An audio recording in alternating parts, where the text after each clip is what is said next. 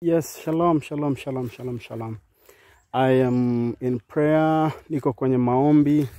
Uh, yes, wakati mwingine huwa inatulazimu kujitenga kwenye mazingira, kujitenga na vile vitu tulivyovizoea, kutafuta mazingira yenye necha mazingira yenye asili kama haya ili kupata ule uwepo wa Mungu. Sometimes we need this uh, kind of environment tunapomtafuta Mungu. We need this kind of environment, tunahitaji utulivu, tunahitaji mazingira yenye ile necha ya Mungu. Uh, huwa tunaamini kwamba mazingira kama haya, mazingira yenye utulivu namna hii yenye ile nature ni mazingira ambayo unaweza uka, ukamsikia Mungu kwa, kwa, kwa ukaribu zaidi. Kwa hiyo wakati mwingine ukiwa na, na maombi, ukiwa na maombi ambayo ni maombi mazito, kuna jambo unataka kuliombea kwa muda mrefu, unataka kupata matokeo yake kwa muda mrefu, unataka kupata matokeo yenye uhakika, huwa tunashauri you go kwenye kind of this uh, nature, kwenye mazingira namna hii, mazingira ambayo ni wewe na miti, ni wewe na wanyama, uh, ni wewe peke yako na, na, na ile asili, you feel that nature.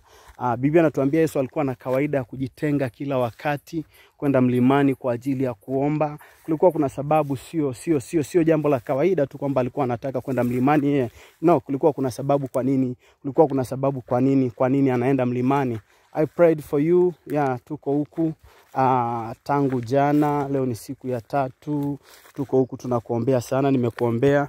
Yes, I prayed for you. Uh, ninaamini Mungu atakuvusha nimekuja maalum kabisa kwa ajili ya maombi ya, ya, ya singles. Singles tumewaombea sana. Uh, tunaamini Mungu atawavusha. Niko na mzigo sana na, na, na single, kwa hiyo kwa hiyo ili tulazimu kujitenga kwa ajili ya kuwaombea. We prayed for you. Tunamwamini Mungu kwamba ata, ata, ata, atawavusha. Tunamwamini Mungu kwamba atawavusha. Wakati mwingine ya ukiona watu ukiona watu pia they have a, that power of God. Uh, ni watu ambao wana, wana, wana revelation sana. Ni watu ambao wame, wamezoea kujitenga kwenye mazingira kama haya. Ni mazingira ambayo you can feel that presence of God. Yes, for sure you can feel that presence of God in this kind of environment. Yeah, you feel that kind of God, kind of uh, huwa unausikia pia ule uwepo wa Mungu ndani. Yes, ninakupenda sana nimekuombea sana. Mungu akubariki, endelea kuomba kwa ajili yetu.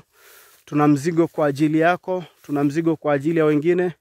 Tumedhamiria kwamba ni lazima kila mmoja avuke, kila mmoja ni lazima avuke. God bless you. Uh, yeah, ukipata pia nafasi wewe jitenge, find this kind of environment we are on the way back now. Kwao tulikuwa eneo la mbali kidogo kuliko hili. Uh, we are, we are on the way back. We are on the way back. Ni safari iliyotuchukua takriban uh, ni safari iliyotuchukua takriban uh, siku tatu mlimani tukikuombea. Alright, Mungu akubariki. God bless you.